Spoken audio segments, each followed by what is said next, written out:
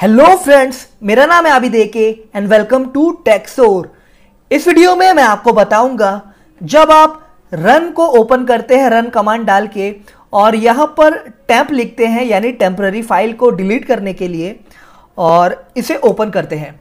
तो हम जितनी भी फ़ाइल होती हैं डिलीट कर देते हैं। बाकी की दो चार फ़ाइल यहाँ पर बच जाती है, जो डिलीट नहीं होती है।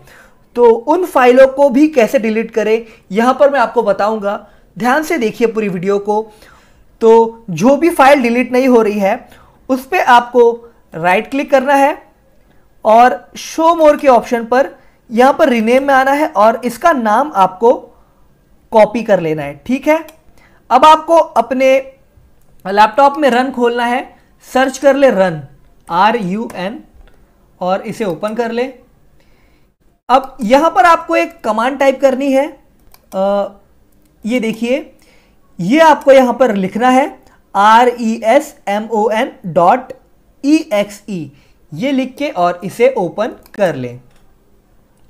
इसके बाद कुछ इस तरीके से रिसोर्स मॉनिटर आपको ओपन हो जाएगा। अब आपको यहाँ पर सीपीयू के ऑप्शन पर जाना है और यहाँ पर सर्च करना है। ठीक है?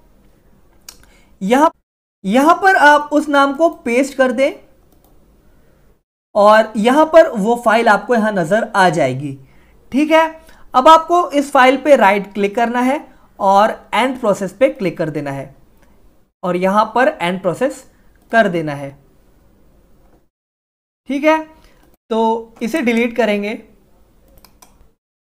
तो डिलीट हो जाएगी। तो इसी तरीके से आप सब नाम को कॉपी कीजिए और उसे डिलीट करते जाइए तो डिलीट हो जाएगी। उम्मीद करता हूँ वीडियो पसंद आई होगी। टेक्सोर को सब्सक्राइब कर दें। अपना बहुत ज़्यादा ख्याल रखें। अल्लाह हाफिज़।